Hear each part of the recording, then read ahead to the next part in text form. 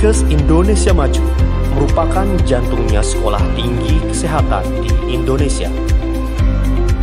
Berdiri pada tahun 2000, kampus yang beralamatkan di Jalan Harapan nomor 50 Lenteng Agung, Jakarta Selatan, didirikan atas dasar rasa cinta tanah air dan ingin berkontribusi dalam mencerdaskan kehidupan bangsa melalui bidang pendidikan.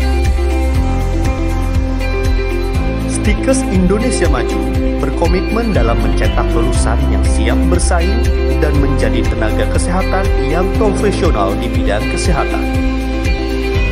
Sesuai dengan visinya, Stikes Indonesia Maju menjadi institusi yang berdaya saing nasional dalam pengembangan ilmu pengetahuan dan teknologi di bidang kesehatan melalui pengembangan masyarakat untuk meningkatkan derajat kesehatan Stikes Indonesia Maju saat ini sudah terakreditasi oleh Bank PT dengan predikat B dan memiliki 13 program studi di antaranya S2 Kesehatan Masyarakat, S1 Kesehatan Masyarakat, S1 Ilmu Keperawatan, Program Profesi Nurse, Sarjana Terapan Kebidanan, Pendidikan Profesi Bidan, S1 Administrasi Rumah Sakit, S1 Gizi, S1 Farmasi, Sarjana Terapan Keselamatan dan Kesehatan Kerja, Sarjana Terapan Manajemen Informasi Kesehatan, Diploma 3 Administrasi Rumah Sakit, dan Diploma 3 Asuransi Kesehatan. Tujuh di antara program studi sudah terakreditasi B. Assalamualaikum warahmatullahi wabarakatuh.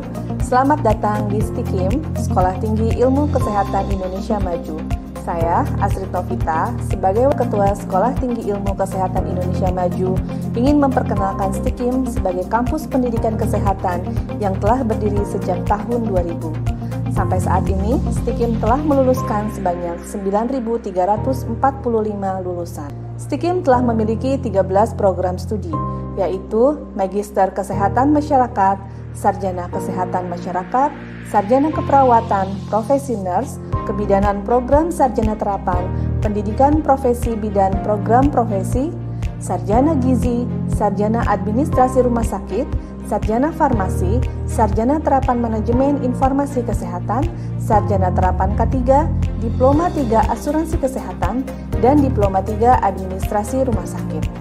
Stikim telah terakreditasi dengan predikat sangat baik.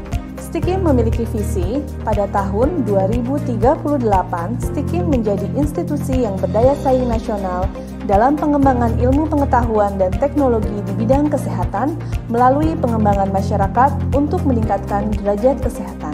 Stikim sedang berproses menjadi Universitas Indonesia Maju dengan konsep health tech berbasis komunitas.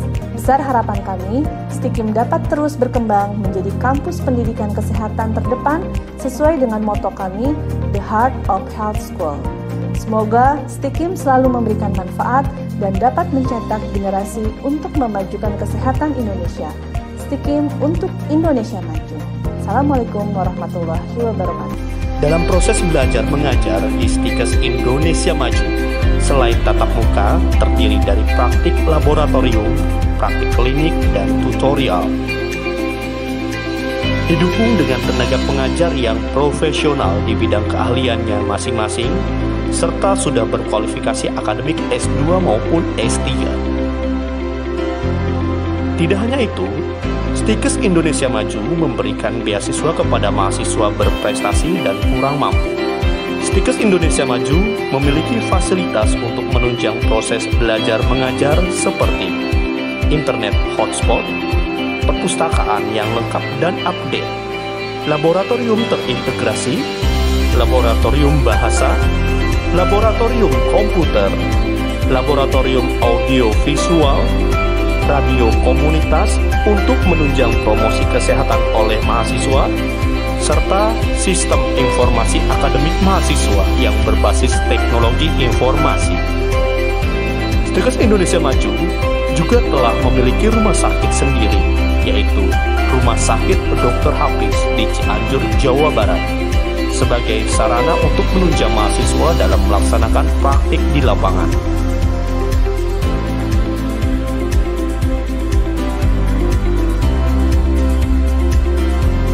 Stikers Indonesia Maju untuk masa depan yang lebih baik.